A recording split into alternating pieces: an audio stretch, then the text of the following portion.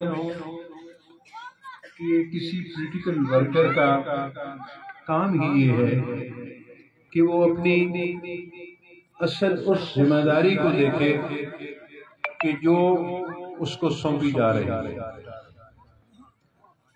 और आपके इस आठ तारीख वाले दिन जो आप पे ज़िम्मेदारी बनती है आपको ये देखना है कि आपका ये फैसला आने वाले कल के हवाले से इस मुल्क के लिए क्या नतज लेके आ रहा है।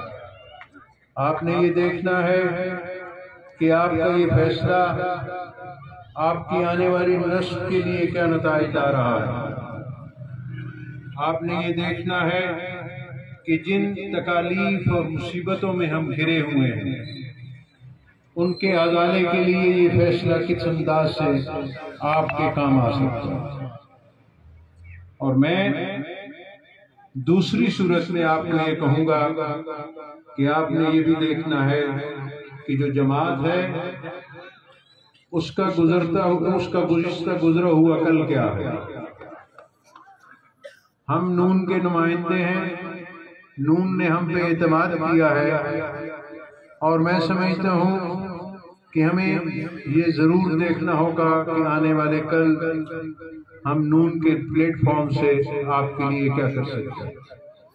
देखिए, ये सारी वो चीज़ें हैं जो आज रात खैरियत हुई, ख़त्म होगी कल का सूरज इंशाल्लाह खैरियत का तुलू होगा और एक दिन बाद इलेक्शन का दिन है।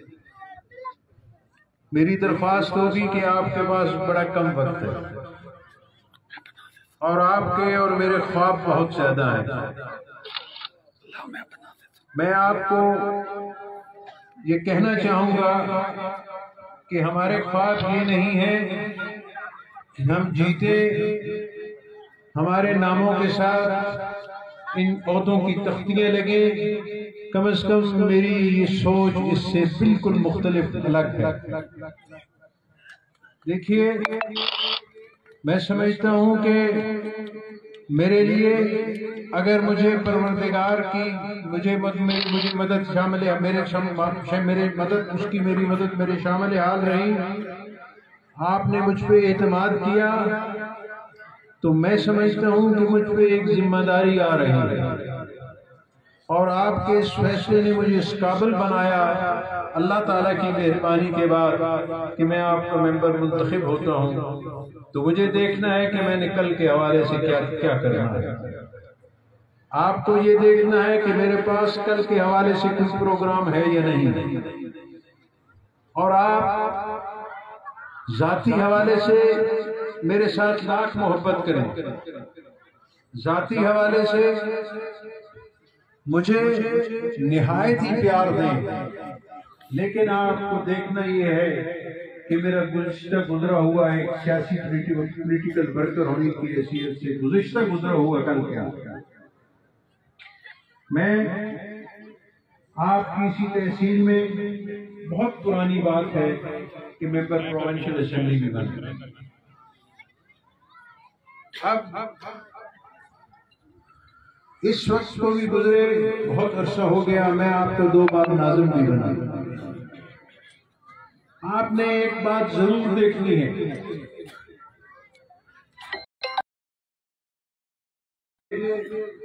इन औदों के लिए चुना था और मुझे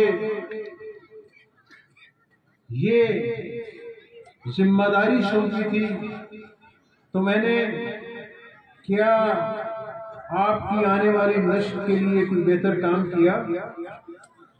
क्या जमींदार के लिए कोई ऐसा नया प्रोग्राम दिया कि जिससे उसकी मुआशी मामला में तब्दीली आए?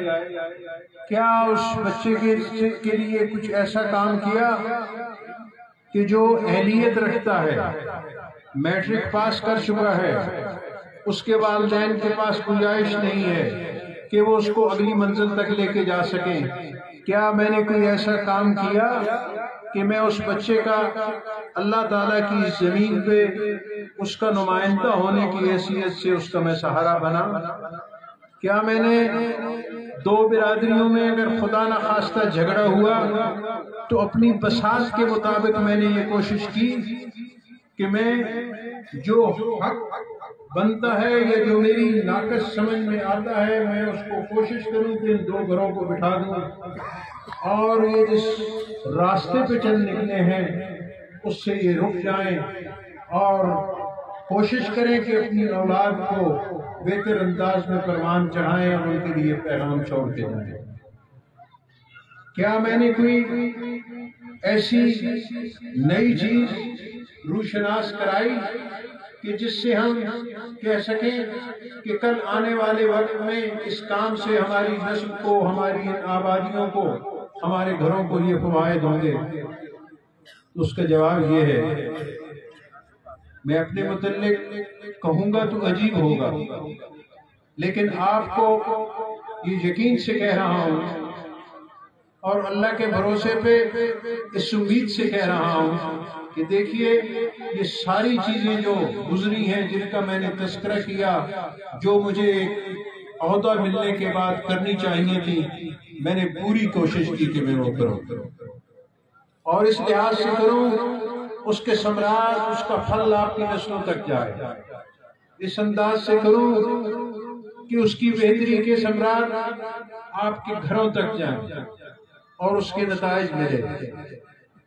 मैं ये कह सकता हूँ कि अगर आप मुझसे पूछें कि पानी स्टोर करने के लिए कितने डैम बने तो मैं अपने उस सात साल के टेन्योर में कह सकता हूँ कि सात डैम बने और मैं ये कह सकता हूँ कि सिर्फ़ एक धरावी डैम जो तहसील चकवाल का हिस्सा है। उसको अगर फाल कर दिया जाता जो मुकम्मल था, उसकी आधी नहर मुकम्मल हो चुकी थी, अगर उसे फाल कर दिया जाता तो हमारे इलाके में एक रकबा है, उसको हम अपनी ज़िम्मेदारी ज़ुबान में भबियाल का रकबा कहते हैं। वहाँ पे वो तकरीबन ढाई से तीन हज़ार एकड़ को सैराब कर सकता था। आपकी इस तहसील में चौखंडी डैम बना रोनाल डैम बना। रोडाल डैम ने मेरी ऑफ़िस में मौजूदगी में तकरीबन 2000 एकड़ रकबे को पानी देने शुरू कर दिया था। चौखंडी डैम नहर शुरू हो गई थी। अब मैं दो चार दिन पहले जब पीड़ा गया तो मैंने पता किया तो वो नहर मुख्तलिफ़ झगड़ों का शिकार होकर वहीं के वहीं खड़ी तो देखिए, ये वो चीज़ें हैं कि जिनको लेके आपके नुमाइंदों को आगे चलना है। ये वो चीज़ें हैं कि जिन बच्चों के पास जो मैं गुजारिश कर चुका हूँ, तालीमी, उनके वालदेन के पास तालीमी अखराज नहीं है। कोई ऐसा प्रोग्राम हो जो उन बच्चों को तालीम दिलवा सके।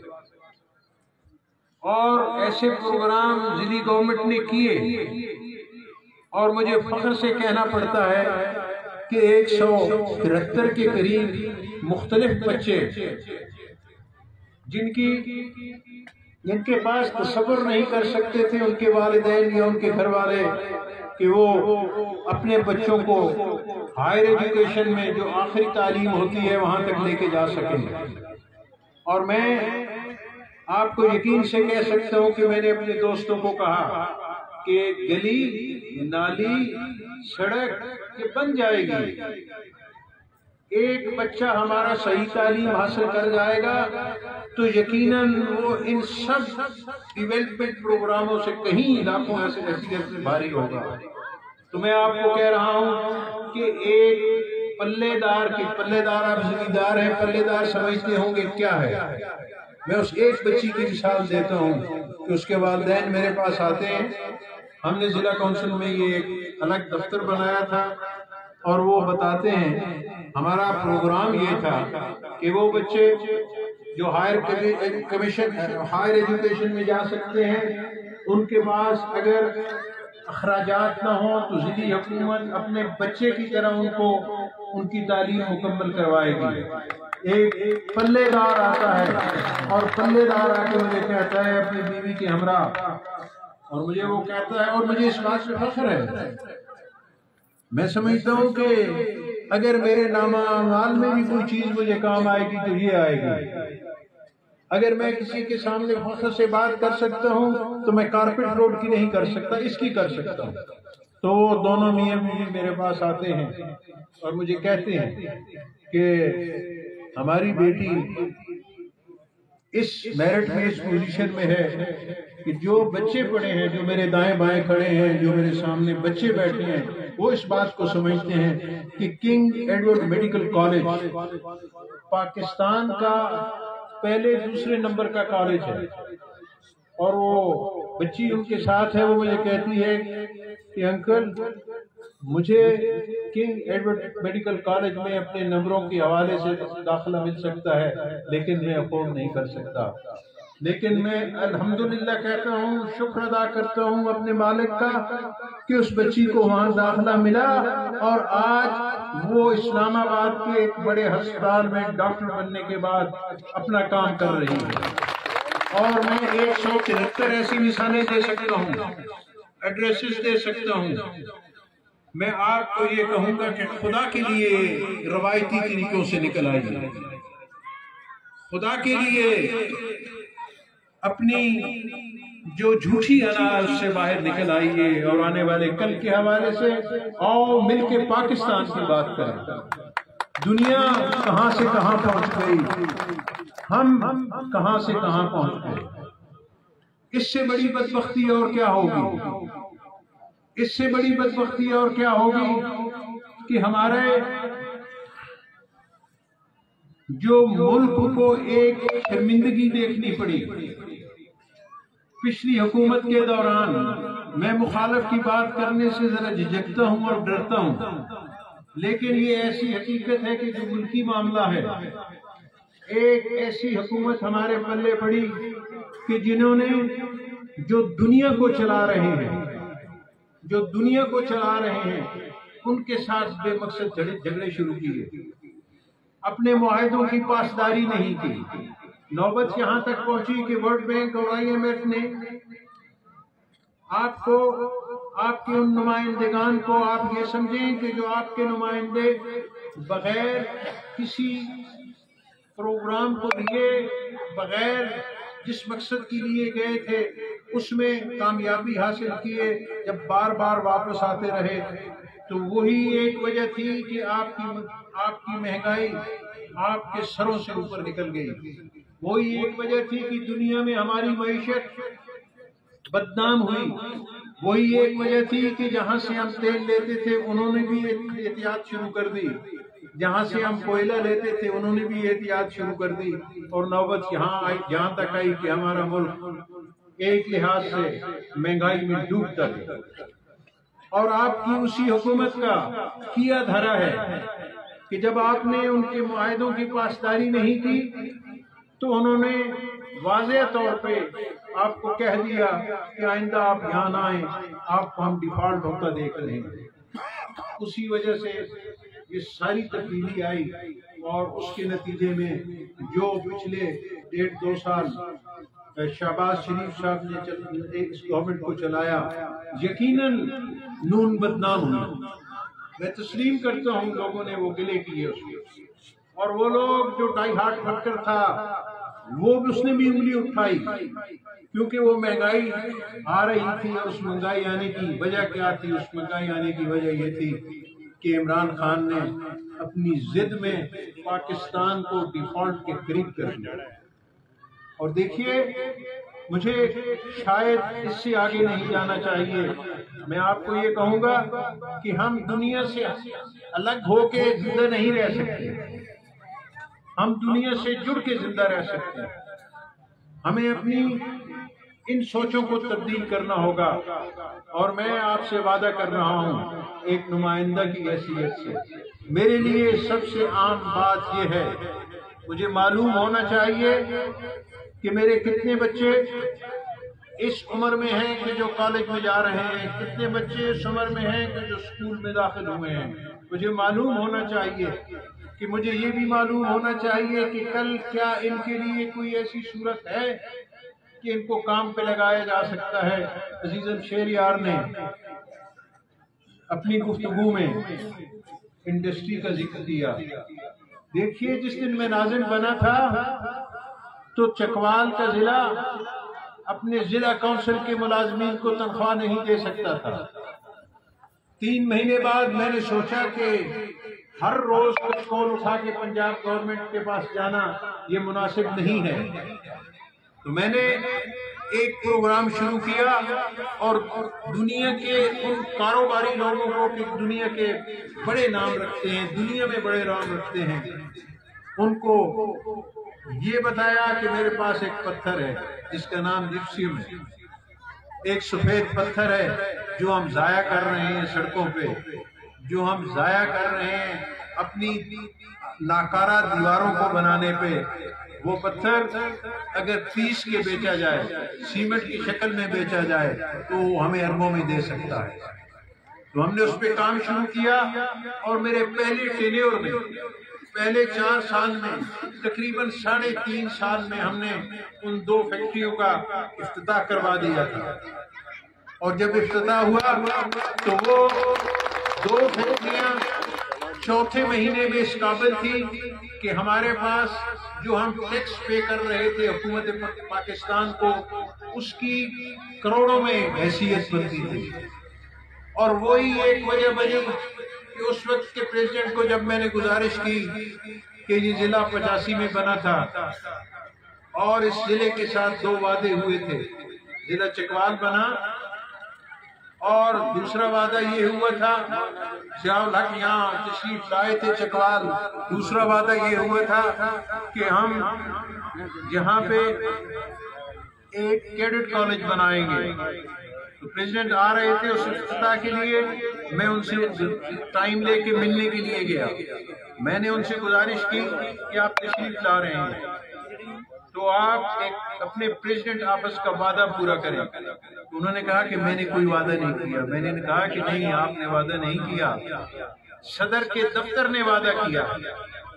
और सदर के दफ्तर की आज ज़िम्मेदारी है कि जो वादा वो पूरा नहीं कर सका था, आज दोबारा अगर उस ऑफ़िस से सदर उठ के जा रहा है तो वादा पूरा कर तो उन्होंने मुझे पूछा, इस वक्त में हमारे पास फंड्स नहीं है नेक्स्ट ईयर अगले साल में हम करेंगे। तो मैंने उनसे कहा कि जिस तरह जिला काउंसिल के मुलाजमीन की तनख्वाह पूरी नहीं कर सकते, और आज जिस दिन मैं इस ऑफ़िस में आया हूँ ने काम शुरू किया है। हम 12 से 14 करोड़ से ज़्यादा आपको इन चार महीनों में टैक्सेस की मद में दे चुके हैं। और अगर आप हमें उसमें से कुछ हिस्सा हमारे रहा है कि हमें खुशी है कि हमने कोशिश की कि वहाँ पर हमारे बच्चे दाखिल हों। और जो बेपना बच्चे दाखिल हुए और पास आउट हुए और अपनी आइंदा अमली ज़िंदगी में कदम रख चुके हैं। देखें ये बातें हमारे स्टेजेस से होती नहीं है। ये बात सुनने के हम आदि नहीं है। और दूसरा ये है कि न, ये बात हम करते हैं। हम अगर आपके दिए हुए वोट की वजह से आपको दो किलोमीटर सड़क दे देते हैं हम खुद भी इतने नारे मार नारे मरवाते हैं ना, नारे मारते हैं सॉरी नारे मारते हैं कि हमारे गले दब जाते हैं। और आप भी खुशी से दोनों हाथ उठा के नारे लगाते हैं कि आप थक जाते हैं। देखिए उसकी कोई हैसियत नहीं है। आपकी ज़मीन को आबाद होना चाहिए। आप तलागंग का जिला इतना खुशबख्त जिला है कि आपके पास पानी की फरामानी है। आप बुनियादी तौर पे जिम्मेदार हैं। आपको ज़िम्मेदारी की तरफ़ आपकी आप, आपको फैसिलिटेट करना चाहिए। आपको तालीम की तरफ़ ध्यान देना चाहिए। बुनियादी जरूरियात साथ साथ है। ज़ाहिर है वो ज़िंदगी का हिस्सा है वो चलती रहेंगी। तो मैं कल हमारी कंपेन खत्म हो रही है। ये बातें मैं इसलिए कर रहा था और शेर यार ने भी यही बातें की। मुझे खुशी है मैं इसलिए कर रहा था कि मैं चाहता ये हूँ कि अगर परवरदिगार ने मुझे मौका दिया, जो मैं इस पहर में, इस उम्मीद पे, उसकी जात पे भरोसा करते हुए ये कह रहा हूँ कि वो ज़रूर मेहरबानी करेगा। और आपसे ये तो रखता हूँ कि आप हमारी मदद करेंगे, इस अल्लाह की ज़मीन पे, अल्लाह के हुक्म के मुताबिक आप हमारी मदद करेंगे। मैं आपको ये वादा दे रहा हूँ कि मेरा प्रोग्राम अब खाने के सामने बैठने का नहीं है। मेरा प्रोग्राम अब ये नहीं है कि मैं हर रोज बैठ के ऐसे मामला को डिस्कस करता रहूँ कि जिसका आपकी आइंदा आने वाली नस्लों से कोई ताल्लुक ना हो। मैं आपसे वादा कर रहा हूँ। मैं आपसे वादा कर रहा हूँ कि मेरा प्रोग्राम आपकी मुआशी हालात को बेहतर करने का जहाँ तक मुझसे मुमकिन हो सका वो होगा। मैं आपसे वादा कर रहा हूँ कि आपके बच्चों की तालीम के हवाले से जो मुझसे बन पड़ा मैं ज़रूर करूँगा। और मैं कोशिश करूँगा शेर यार की मदद से, क्योंकि ये प्रोविंस में है। अल्लाह से कामयाब करेगा इनशाला और मैं आपसे वादा कर रहा हूँ कि हम कोशिश करेंगे कि हमारे हॉस्पिटल्स कम कम कम अज कम इस काबिल ज़रूर हों कि हमारे जो मरीज़ वहाँ जाएँ, उन्हें प्रॉपर तरीके से ट्रीट किया जाए। मैं ये काम ज़रूर करूँगा कि जिम्मेदार जो किसी मजबूरी की वजह से अपनी ज़मीन में खाद तक नहीं डाल सकता, कोई ज़रिया या सबब ऐसा बने कि उसकी इमदाद की जाए। मैं आप भाइयों आपको एक ऐसी बात कर रहा हूँ जो यकीनन हमारे लोकल जलसों में नहीं की जा सकती की, की, जाती है। देखिए नून ने बड़ा लंबर सफ़र अपोजिशन में गुजारा है। और मियाँ नवाज़ शरीफ साहब ने मैं समझता हूँ कि बड़े सब्र से आप देखिए कि तस्वर नहीं किया जा सकता कि जो उनके साथ हुआ। लेकिन किसी इदारे पे उनकी उंगली नहीं उठी। कोई पत्थर नहीं उठा। कोई गमला नहीं टूटा। और वो खामोशी से बैठे रहे, हालात को देखते रहे। और उस सब्र ने ऐसे ऐसे कौमी मामलात में हमारे इदारों को नुकसान दिया गया। जो के जहाज़ पे हमजा हमला हुआ, जहाँ तक मैं उस वक्त कम उम्र था, जहाँ तक मुझे उस जहाज़ की हिस्ट्री पता है, वो एक उसको मॉडल के तौर पे गालिबन मियाँ वाली खड़ा किया गया। था हिंदुस्तान के गालिबन गालिबन तीन या चार जहाज़ गिराए थे और एम एम आलिम उस जहाज़ को खैरियत से लेके अपने अपने एयरपोर्ट पे उतरा था। हमने उस एम एम आलिम की रूह को तड़पा दिया। हमने शेर खान की रूह को कर्नल शेर खान की रूह को तड़पा दिया। जिसे हिंदुस्तानी हुकूमत भी उसका नाम एहतराम से लेती है। तो ये सूरत हाल है। हर जगह मुख्तलिफ़ जेन के लोग होते हैं, लेकिन इदारे कौमी इदारे होते हैं। तो देखिए, हम एक मस्बत जेन से आगे निकले हैं। एक मस्बत सोच के साथ आगे निकले हैं। मेरी आपसे दरख्वास्त होगी कि आठ तारीख के हवाले से जैसे शेर यार ने कहा, मेरी आपसे दरख्वास्त होगी और आपसे अपील है कि आप इन चार तीन दिनों में एक एक घंटा ज़रूर वोट मांगने के लिए रखें। और किसी न किसी जगह जाके बैठ के आप दलील के साथ नून के लिए वोट मांगे। यकीनन ये नून के लिए बहुत मुश्किल वक्त है। यकीनन आने वाला कल इंशाल्लाह नवाज़ शरीफ इस, इस मुल्क के वज़ीर आज़म होंगे इंशाल्लाह होंगे। लेकिन एक बहुत बड़ा इम्तिहान भी शुरू होगा कि इस इन हालात में पाकिस्तान को बहाल करना उसको अपने पाँव पे खड़ा करना एक इम्तिहान है, लेकिन हमें अल्लाह पे भरोसा है। हमें उसकी जात पे भरोसा है। और हमें ये यकीन है कि वो इस मुल्क को ज़रूर हमारी मदद करेगा और हम बचा सकेंगे। हम दोबारा इसे बहाल कर सकेंगे। इसकी रौनकें और रोशनियाँ बहाल कर सकेंगे। और आपको मैं ये कहूँगा कि मेरी ज़िम्मेदारी जो आपसे होगी, वो मैं कमिटमेंट कर कर रहा हूँ और वादा कर रहा हूँ। कि मेरा इन ऑफ़िस जिनका मैं तस्करा कर चुका, उस हवाले से आपने मेरी ज़िंदगी देखी। मैं आपसे वादा कर रहा हूँ कि इन आप ज़रूर तब्दीली देखेंगे। अगर अल्लाह ने चाहा तो आप ज़रूर तब्दीली देखेंगे। और आने वाला कल आपकी इनका आबादियों के लिए खूबसूरत कल होगा। और मैं आखिर में मैंने छोड़ दिया था ये बात करनी, मैंने दो दफ़ा बात की थी। क्योंकि आज गालबन ये आखिरी इज्तमा है। मैं आपसे एक बात पूछता हूँ। और मैं ये समझने से कासिर हूँ कि वज़ीर आला पूरी तरीके से ताकतवर वज़ीर आला अगर ज़िले का ऐलान करता है तो उसके बाद उसकी हुकूमत भी कायम रहती है। तो क्या वजह है कि वो जिला फाल नहीं होता? क्या वजह है? उस वादे की पासदारी नहीं होती। इसमें मैं समझने से कासिर हूँ।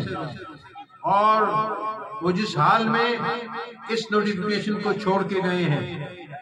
अब मैं या शेर शाह ये शेर शेर यार ये कहीं भी तो जो देहात में रहने वाला जहन है, वो ये बात तस्लीम नहीं करेगा कि ये ये जो बात कर रहे हैं, ये दुरुस्त है। बहरहाल उन्होंने, मैं समझता हूँ कि गलती की। इस लिहाज से गलती की कि जिस दिन ये जिला अनाउंस हुआ था, दूसरे दिन उस उस या वो जिला अनाउंस करने से पहले वो तमाम लवाजमात जो एक ज़िले के लिए ज़रूरत है, वो यहाँ मौजूद होनी चाहिए थी। डिप्टी कमिश्नर को यहाँ पे अनाउंस करने से पहले भेज देने दिया जाने चाहिए था, ताकि वो अपने ऑफ़िस को इनके ऐलान करने से पहले स्टेब्लिश करे।